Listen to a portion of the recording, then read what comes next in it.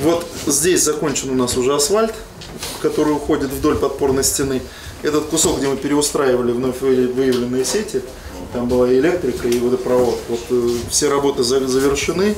Сейчас остается здесь вот один сегмент трехметровой трубы, там сегодня он да, устраивается, то есть по сути мы соединимся весь кусок он будет соединен и будет готов к асфальтированию там, до конца недели. О ходе строительства выезда из Новой Трехгорки представитель компании-подрядчика доложил главе округа секретарю Одинцовского отделения «Единой России» Андрею Иванову.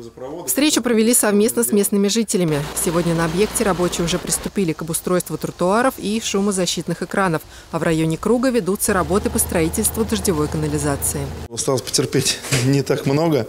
Понимаем, что дорога объект важный, действительно жители переживают и волнуются меняются. А, задержки были вызваны огромным количеством переустройств коммуникаций, вновь выявленных. А, этот этап завершен, и мы сейчас приступаем уже к устройству дорожной одежды.